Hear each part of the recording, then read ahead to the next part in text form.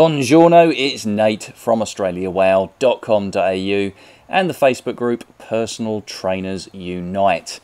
Now, a lot of you have got a YouTube channel, right? And what you want to do is you want those videos to be ranking quite high, I would have suspected. You want all of these prospects to see your YouTube channel and know that you're the authority in bench presses or in your particular town. You are the dominator of all things boot camp.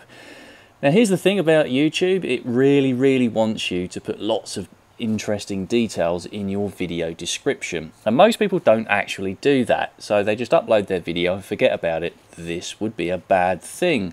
Now we'll go into other things in other videos about how you can optimize your video, but here's one top tip that you can actually rank a little bit higher than what you're doing right now.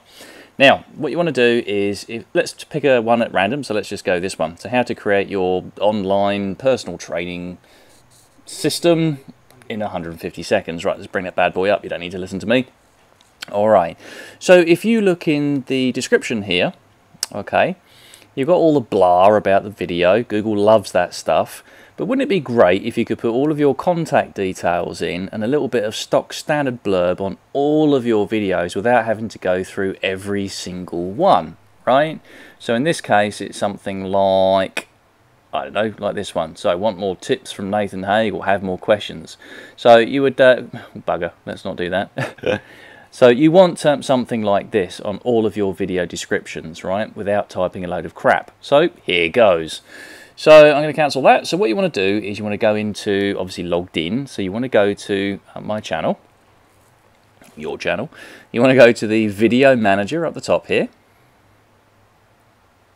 Okay.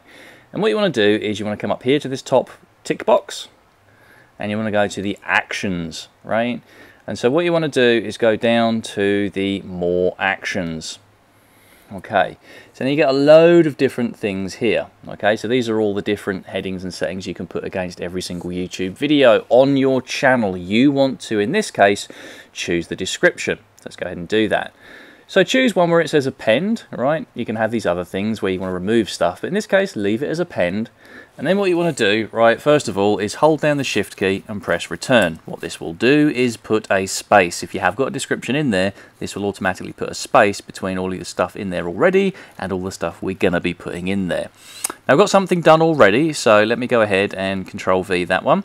Okay, now the box doesn't expand, which is a bit of a pain in the ass, but anyway. So this is what we're going to be uh, putting in all of our videos, right?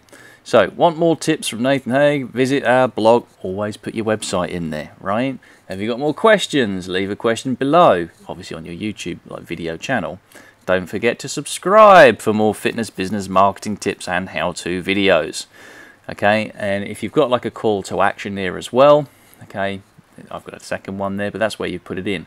Be sure to put it in all of your details for your socials, starting off with your email, then doing your Facebook, your Twitter, your Instagram, whatever else that you've got, right? So once you've done all of that, what you want to do is go to the submit.